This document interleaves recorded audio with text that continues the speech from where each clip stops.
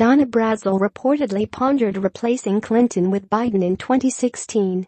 Washington, Donna Brazile, the former interim head of the Democratic National Committee, says in a new book that she considered replacing Hillary Clinton as the party's 2016 nominee with Vice President Joseph R. Biden Jr. after Mrs. Clinton suffered a fainting spell, according to an account published Saturday by The Washington Post. In her book, Ms. Brazile writes of her frequent frustrations with the Clinton campaign, saying that she would tell its leaders that she could invoke powers from the DNC charter to oversee the process of replacing a nominee if she were to become disabled, something that has never happened in the modern era of presidential elections. The Post quotes Ms. Brazile as writing, Again and again I thought about Joe Biden adding that no matter my doubts and my fears about the election and Hillary as a candidate, I could not make good on that threat to replace her. The Post reported that Ms. Brazile had considered replacing Mrs. Clinton after she briefly collapsed in New York City following a September 11 commemoration ceremony. Howard Dean, a former DNC chairman, said Saturday on MSNBC that Ms. Brazile would have had no power to unilaterally remove or replace Mrs. Clinton.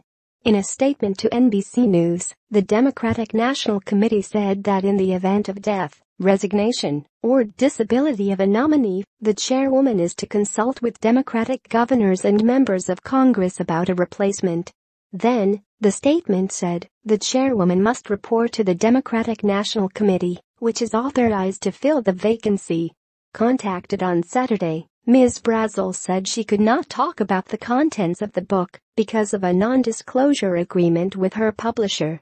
Ms. Brazile's book, which also disclosed a highly unusual agreement that gave Mrs. Clinton's campaign a measure of control over DNC operations a year before she was nominated, says she was concerned about the faltering nature of the Clinton campaign, which, she wrote, had taken on the odor of failure, the Post reported.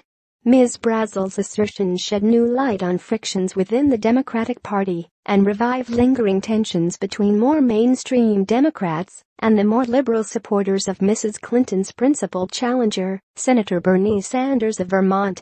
Ms. Brazile, according to the Post, got in heated disagreements with top Clinton campaign officials and accused them of treating her like a slave.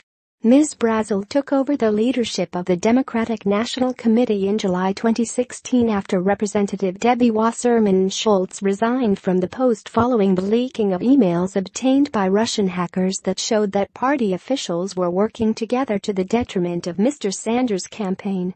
Ms. Brazile, one of the National Party's most prominent African Americans, is a veteran of many presidential campaigns, serving as chairwoman of Al Gore's presidential campaign in 2000. She is also a frequent presence as a pundit on cable television. Her book, Hacks, the inside story of the break-ins and breakdowns that put Donald Trump in the White House, will be released on Tuesday. The Post said it had obtained an advance copy the New York Times has not obtained a copy of the book,